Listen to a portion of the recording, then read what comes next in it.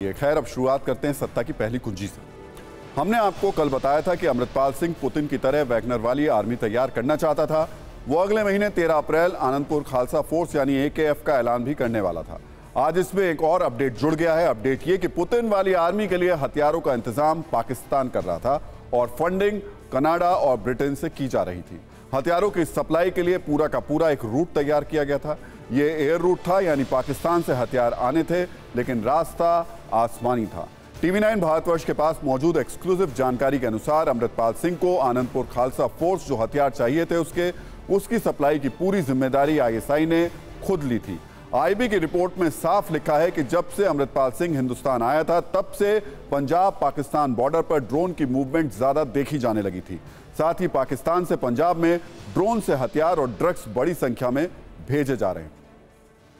इन्हीं हथियारों के दम पर अमृतपाल सिंह ने सिर्फ़ पंजाब सरकार, बल्कि गृह मंत्रालय तक को खुली चुनौती देने को उसने कोशिश की। आंकड़ों को देखें तो 1 जनवरी से 2022 से 28 दिसंबर 2022 तक पंजाब बॉर्डर पर दो सौ अट्ठावन ड्रोन गतिविधियाँ हुई। 2021 में पंजाब बॉर्डर पर सिर्फ़ चौंसठ ड्रोन गतिविधियाँ हुई थी। 2020 में पंजाब बॉर्डर पर ड्रोन एक्टिविटी सिर्फ़ सैंतालीस थी।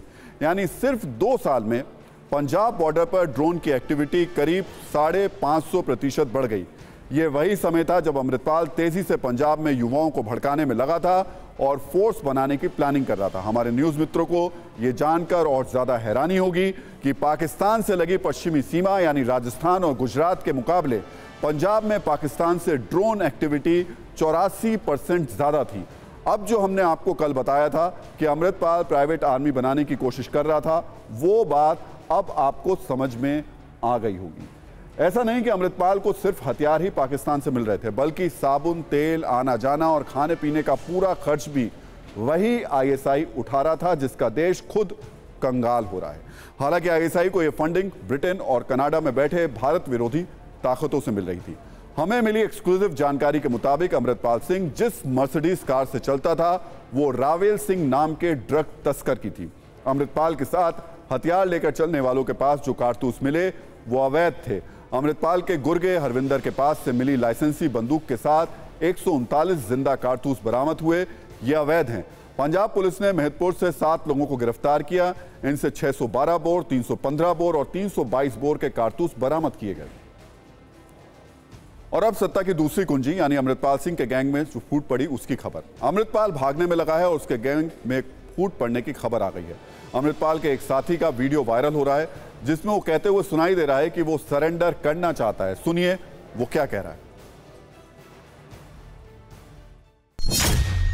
ਯਾਰ ਇਹ ਕਿਤੇ ਮੈਨੂੰ ਵੇਖੋ ਲੱਗਦਾ ਵੀ ਆਪਣੇ ਬੰਦੇ ਨਾ ਕੋਈ ਰਲੇ ਰੁਲੇ ਆ ਸਰਕਾਰ ਦੇ ਨਾਲ ਤੇ ਇਹ ਨਾ ਵੀ ਭਾਈ ਸਾਹਿਬ ਦਾ ਨੁਕਸਾਨ ਹੋ ਜੇ ਤੇ ਕਿਤੇ ਜੇ ਕਿਤੇ ਤੁਹਾਨੂੰ ਕਿਤੇ ਮੈਸੇਜ ਮੂਸੇਜ ਆਉਂਦਾ ਨਾ ਤੇ ਮੈਂ ਤੇ ਗ੍ਰਿਫਤਾਰੀ ਦੇ ਦੇਣ ਲੱਗਾ ਵਾਂ ਤੇ ਉਹਨਾਂ ਨੇ ਵੀ ਕਹੋ ਵੀ ਗ੍ਰਿਫਤਾਰੀ ਦੇ ਦੇਣ ਕਿਤੇ ਇਹ ਨਾ ਆਵੇ ਮਤਲਬ ਆਪਾਂ ਉਹ ਬਾਅਦ ਚ ਇਹ ਫੜੇ ਜਾਣ, ਕਿਉਂਕਿ ਫੜਾ ਉਹਨਾਂ ਨੇ ਕਿਸੇ ਨਾ ਕਿਸੇ ਆਪਣੇ ਬੰਦੇ ਨੇ ਦੇਣਾ ਵਾ।